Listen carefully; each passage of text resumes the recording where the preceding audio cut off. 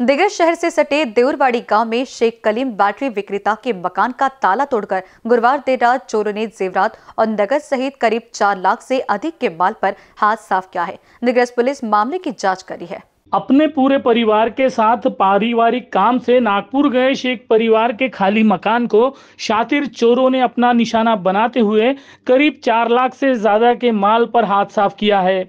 घटना की खबर लगते ही परिवार और उनके रिश्तेदारों के पैरों के तले ज़मीन खिसक गई और उन्होंने तत्काल दिग्रस पुलिस को इसकी जानकारी दी। पुलिस ने शेख कलीम इनके देवरवाड़ी स्थित मकान में पहुंचकर पंचनामा किया। मैं महमूद का गफ्फार का शेख कलीम शेख हुसैन का साड़ू। शेख कलीम हुसैन, शेख कलीम शेख हुसैन पूरी हुई रात में, बारह बजे के दरमियान। उनके लड़के की अभी शादी हुई थी।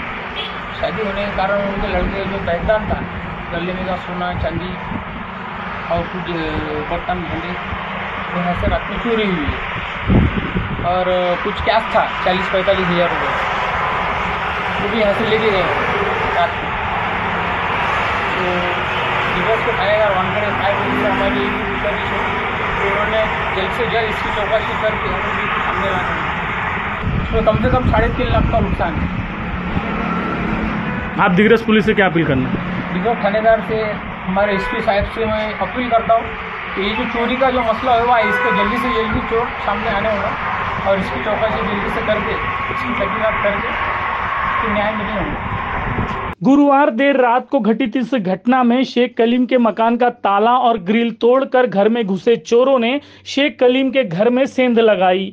उन्होंने न तो कोई कमरा छोड़ा, न कोई अलमारी, यहाँ तक किचन में रखा कीमती घरेलू उपयोगी सामान भी वे ले भागे। इस वारदात से शेख परिवार सख्ते में है। खबर लिखे जाने तक दिग्रस पुलिस द्वारा पंचनामा कर मामला दर्ज करने की प्रक्रिया जारी थी।